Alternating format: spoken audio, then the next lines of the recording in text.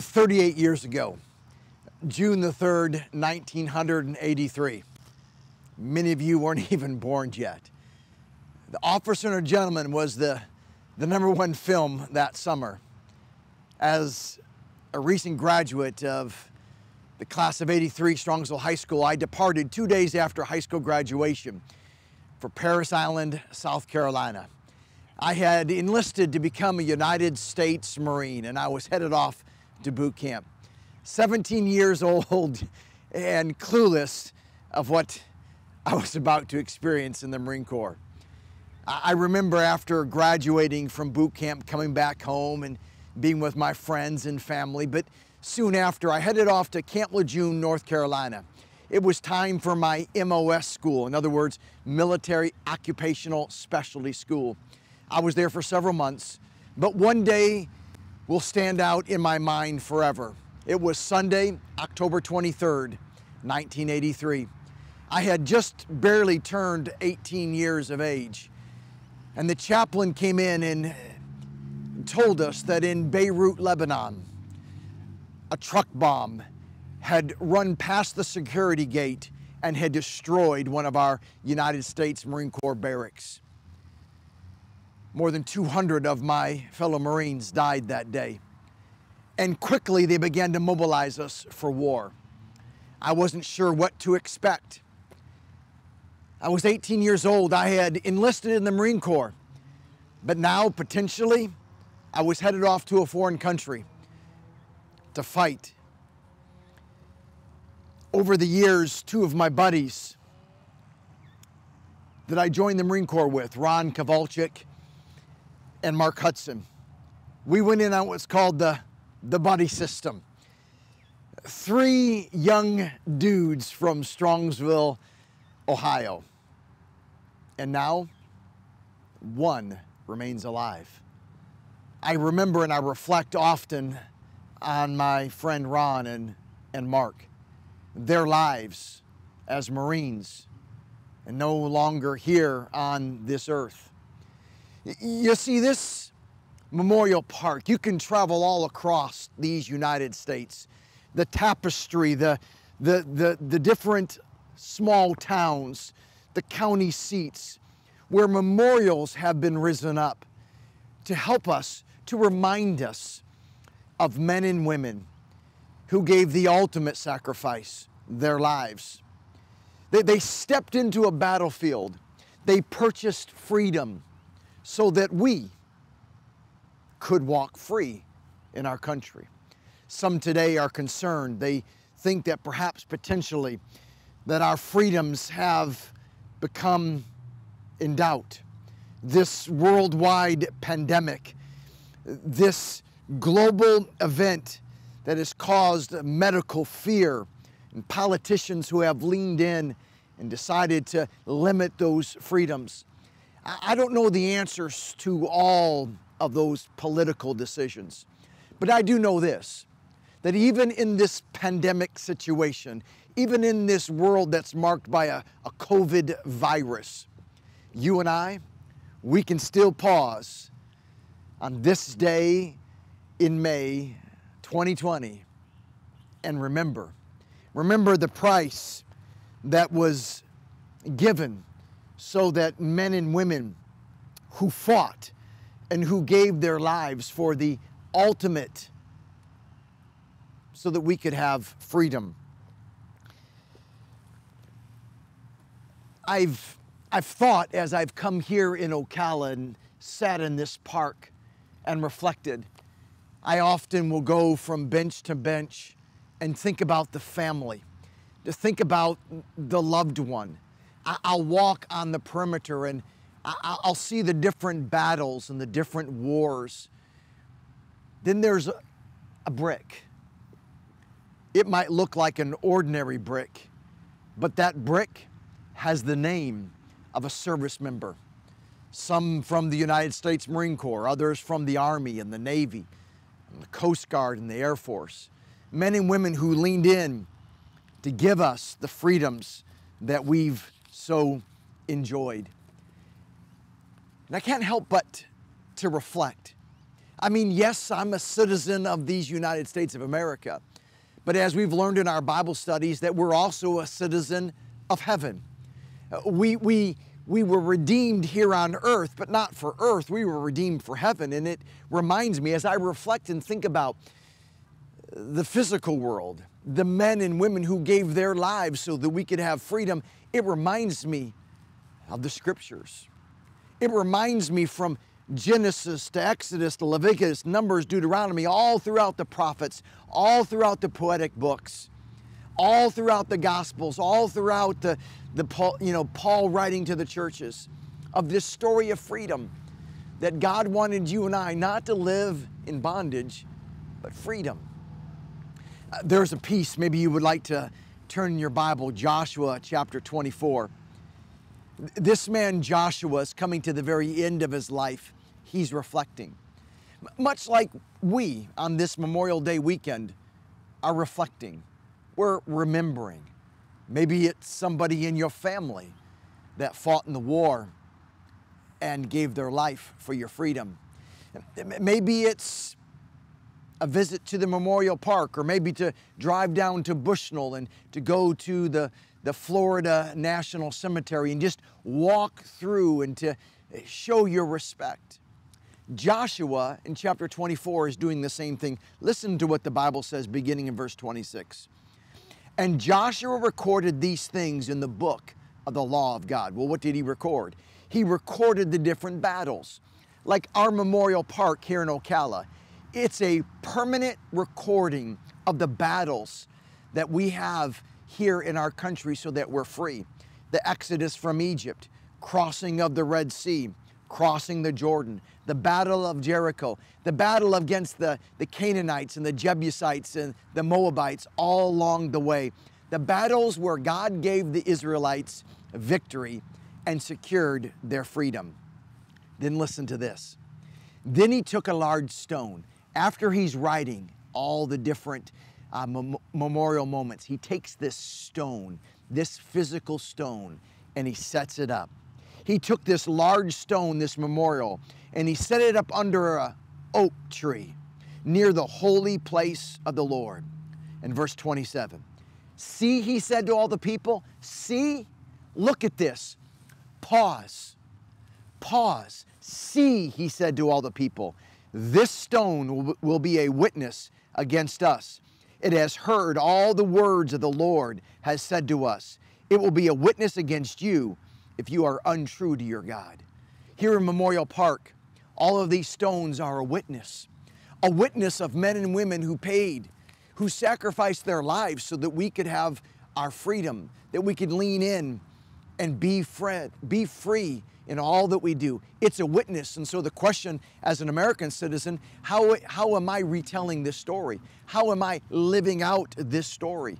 See, not only our country understands our, ten- our tendency, our propensity to forget, and we do, right? We, we forget. But God knows we have a tendency, a propensity to forget. So He wants us to remember over and over, Joshua would set up these memorials. When they crossed over the Jordan, they took 12 stones out of the, the river, out from the middle, and they set it up on the other side. And, and Joshua, listen to this in Joshua chapter 4. Joshua set up at Gilgal the 12 stones that he had taken out of Jordan. He said to the Israelites, In the future, when your descendants ask their parents, What do these stones mean? Tell them. Israel crossed the Jordan on dry ground. For the Lord your God dried up the Jordan before you until you crossed over it. In other words, he said, Listen, tell the people, set this up. Tell the people, show your children how God has showed up and provided freedom. I, I suggest, I recommend, wherever you're watching today, tomorrow on Memorial Day, I, I know it's a time for, for picnics and barbecues and it's a day off from work, even in this pandemic season. But find a memorial in your town and take your children and remind them that the freedoms that they have, the freedoms we have as Americans, they were purchased from another. That's also true spiritually. on a daily basis, reminding your children that we, we have our freedom as Christ followers in a gift that's given to us from God. You, you see, the Bible tells us clearly that it's a story. From Genesis to Revelation, it's a story. When Joshua began to unpack for the Israelites, it was a story of when they went to Jericho and how they conquered the, the, the walls of Jericho. It was a story. There's something about stories that invite us to lean in to the story. Here, let me just see if I can give you a little quiz. Right now, I want you to think back to your, your school days. What was your favorite mathematical equation? yeah, so you didn't remember those? I would ask you to drop a comment in the box, but most of us, right, we were so glad to get out of math. We were so glad to walk away from advanced math and geography, eh, or geography, right? Some of us, we, we were in geometry, but we thought it was geography, right? Um, um, from all those things, right? How about all the different parts of speeches, right? The, you know, is it an adverb? Is it an adjective? Is it a noun? Is it a pronoun? Remember all the things? Remember all the dates? You know, the random dates from history class that you had to remember all the different names? How hard it is to remember that? Now, let me ask you this. How about your favorite story? Favorite story movie of all time? It's not too difficult, right? Matter of fact, right now, just, just drop the name of your favorite story in the comments. Just, just drop it. I can tell you for me, uh, one of my favorite stories is The Toy Story. I absolutely love it. All, all four parts, right? I love the, the human dimension of Woody trying to figure out who he is. And Buzz Lightyear comes to the story, and Woody, who once was like the favorite toy of Andy, but now there's Buzz Lightyear, right? Here, drop a comment. What is your favorite story? You know, I've been thinking, one of my favorite movies from days gone by was Hello, Top Gun, Tom Cruise. And did you hear? The sequel is supposed to come out this summer. I'm wondering, how is that going to happen? Right? Are we going back to movie theaters or are they going to release it to us to watch in our homes? There's something about that story. I want you to drop right now. What is your favorite all time story? It can even be a Christmas story. Can you say Elf? that one part in the movie, right, when Buddy and they're talking about Santa and Santa's coming and Buddy says, I know Santa. I, you know what I love about that scene? Is it's, it's so authentic. Buddy really knew Santa. I think about that my relationship with Jesus. And people talk about God and Jesus. I want to pipe up and say, I know Jesus, right? You're dropping comments right now. What is your favorite all time story? Now, isn't it remarkable? That story's lodged in your mind. That mathematical equation, it's been lost in time, right? Understanding all the different parts of vocabulary and speech and all of that. Listen, you were so glad to get out of school. And as a parent, you struggle trying to get your kids to know all those things. But stories, those stories, they are lodged in our minds. The power of story. Do you understand this, this book? Th- th- this book isn't some mathematical equation, it's not some parts of speech from grammar class. This book is a story of how God so loved the world that he gave his one and only Son. And he wants you and me and all of us to become adopted into his family. See, that's what memorials do. Memorials tell us a story. There's a story to know as you walk through the Memorial Park here in Ocala. There's a story to know about men and women in different times and seasons in our country. As you go through the scriptures, there's stories to know. The story of Esther, who risked everything and she walked in to risk her life so that others could have freedom. The story of Daniel, who wasn't afraid to pray publicly. And he was thrown into a lion's den, and how God showed up and gave Daniel victory over those hungry lions. There's a story of Peter, who initially was, was bold and proud to be a follower of Jesus, but then the pressure came on. And he didn't show up the way that he thought he should have showed up. He would have showed up. And in his discouragement and his despair and his depression, God restored him. I'm just telling you, the Bible is filled with stories for us to know. These memorials are stories for us to lean in. These memorials are stories for us to live. See, memorials invite us to become a part of the story. Memorials are kept alive by the way you and I live. Let me tell you something about all the memorials. They're not ashamed. They stand tall, they point toward the sky, and they want everybody to know these people fought. These people leaned in and sacrificed their lives so that we could have freedom. But I think that's true spiritually as well. Listen to Romans chapter 1 and 16. For I am not ashamed of the gospel of Jesus Christ, because it is the power of God that brings salvation to everyone who believes, first to the Jew and the Gentile. See, as Christ followers, we're not ashamed of the gospel of Jesus Christ. It's the power source in which we live. See, freedom, it was purchased by another, but freedom, it's preserved by you and me. These memorials tell the story of how somebody else purchased your freedom and the way you and I choose to live as free men and women in the United States, that preserves their purchase. That's also true spiritually. Jesus purchased our freedom. Jesus, who was innocent, came and sacrificed his life. He died on the cross. He was buried, and three days later, he became alive again. Nobody can refute it. You might not believe it, but it doesn't mean that it's not true. Our freedom spiritually was purchased by Jesus Christ. But that freedom it's proclaimed every day as you and I choose to live it day in and day out. See, all these memorials, they require action. They require you and I to lean in.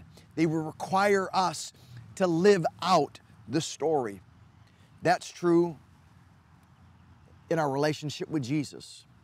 On this Memorial Day, there's not a, a, a better day that I can think of. I know we often look to Christmas Eve for communion. We think about around Easter time having communion. But on this Memorial Day weekend, I can't think of a better day for you and I to have communion. Now, you already have some of the communion supplies there with you. But as we lean into this, understand communion, it's more than having a little piece of bread or cracker, it's more than having some juice.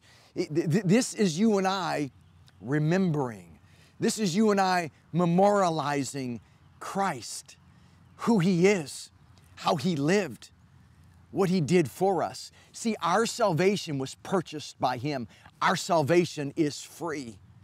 But our spiritual development, it requires you and I every day to show up, to remember, and to live out.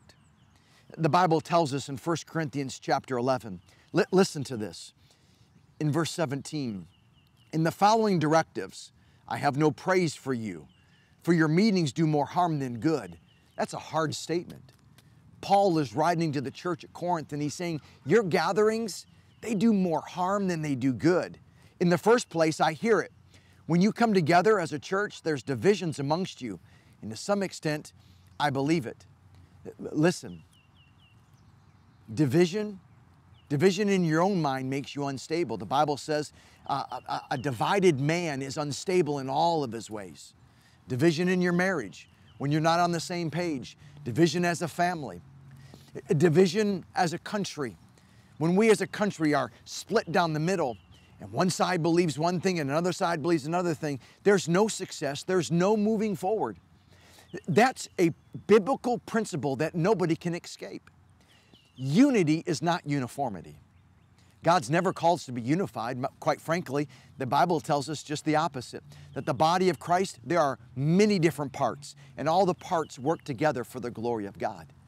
But we are called to be unified. You know, on this Memorial Day weekend, we're not unified because we're a red state or a blue state. We're not unified because we vote a particular way. We're unified because men and women, many of whom we will never know, they paid a price so that we could have our freedoms.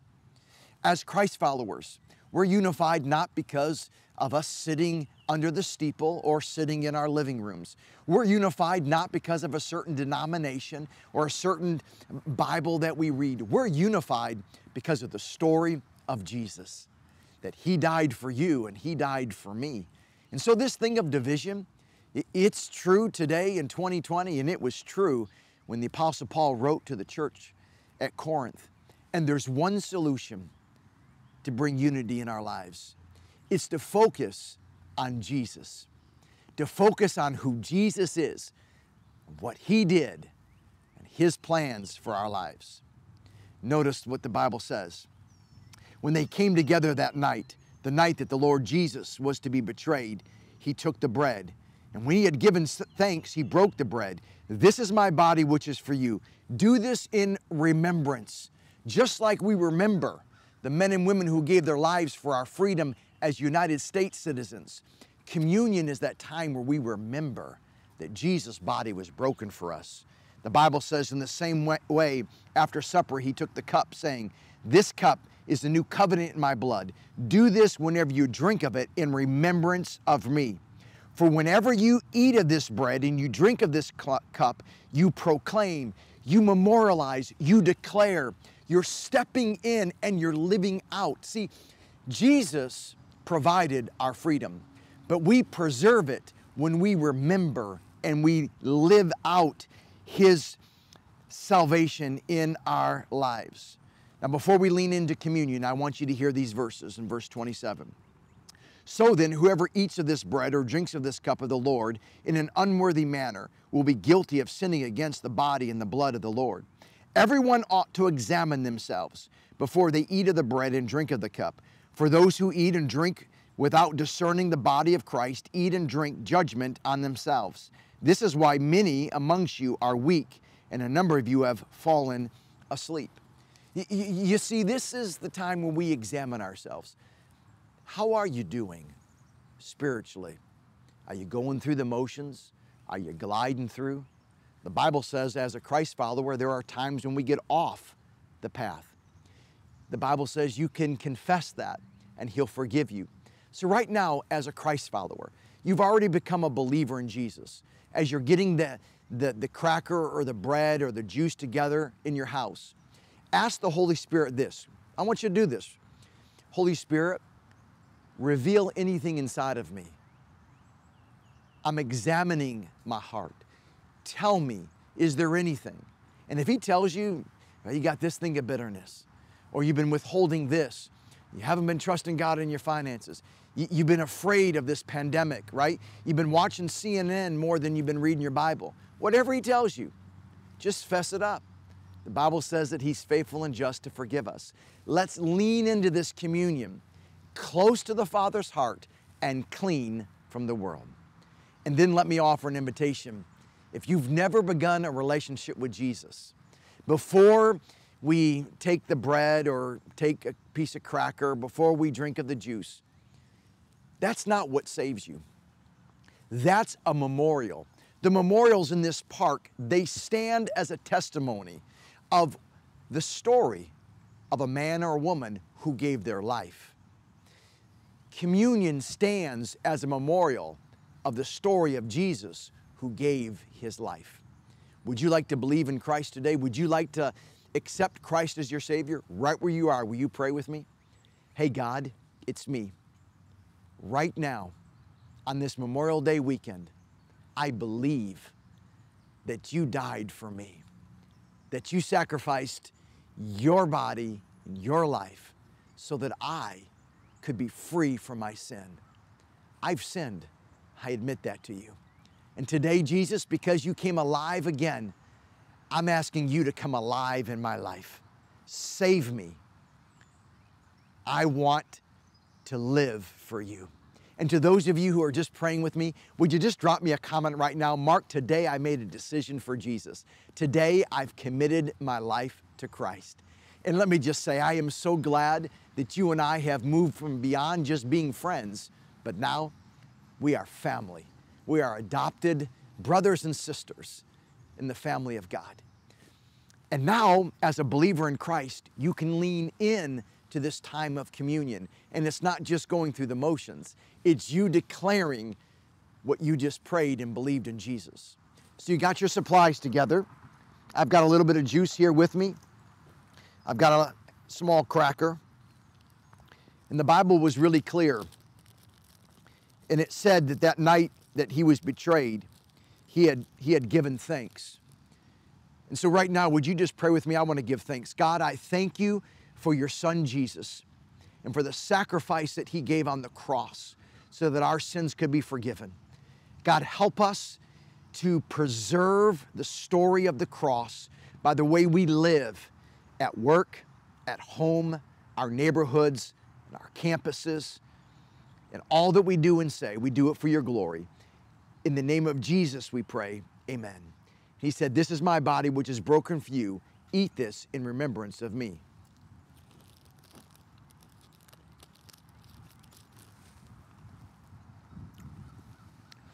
In the same manner that night, they took the cup. We know biologically the life of the flesh is in the blood. If your blood becomes sick, you no longer live. Jesus poured out his blood. Now, this is just juice, but it's a memorial. It's much like Memorial Park. It reminds us of the blood that was shed on blood, battlefields. They poured out their life so that we could have life here in America. Likewise, Christ poured out his life so that we could have spiritual life. And so he said, Drink this in remembrance of me.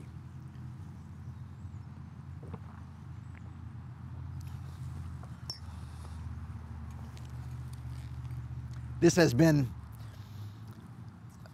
special. Being in this memorial park as United States citizens has been very special today.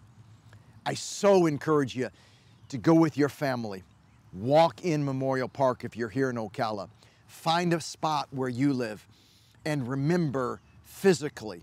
But I also encourage you during this weekend, continue to reflect on who Christ is. Let's make sure that Romans chapter 1 stands as a living memorial for all of our lives. I'm not ashamed of the gospel because it's the power of God that brings salvation to everyone. Let's live our lives not ashamed, but publicly proclaiming. Let me leave you with a question, something to really struggle with, to wrestle with.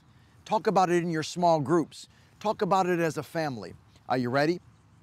Your life. If the world were to know only through your life the story of the Jesus would the world know. Did you get that? In other words, these memorials tell the story of a war on a battlefield someplace else. And the way that we know something happened on a different uh, continent is these memorials. If your life, if the only way people would ever know about Jesus is your life, what story would they know about Jesus? I think it's time we start living our lives as a memorial so everybody knows about Jesus. And do you know that in this season, although we can't gather in person, while we're online, that you're a digital ambassador for Jesus? Let me ask you a pointed question.